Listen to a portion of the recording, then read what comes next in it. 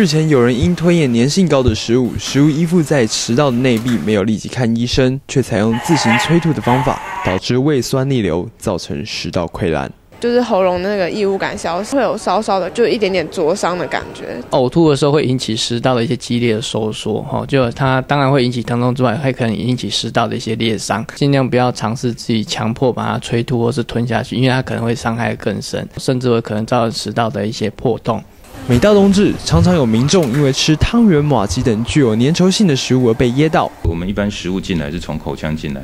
那如果现在你的食物或者是其他的东西跑到这个气管的部位的时候，就会产生窒息。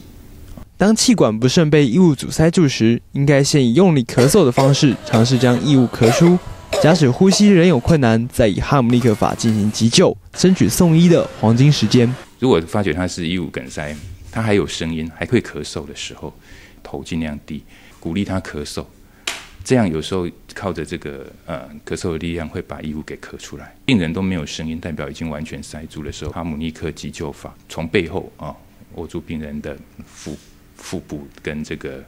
大概横膈膜的位置，然后用往后压，往你的方向压，可以让那个塞住的东西让它喷出来。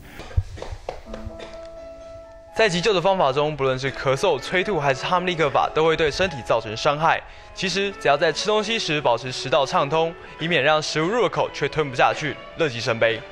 中正医报记者曾颖轩、韩云峰加以报道。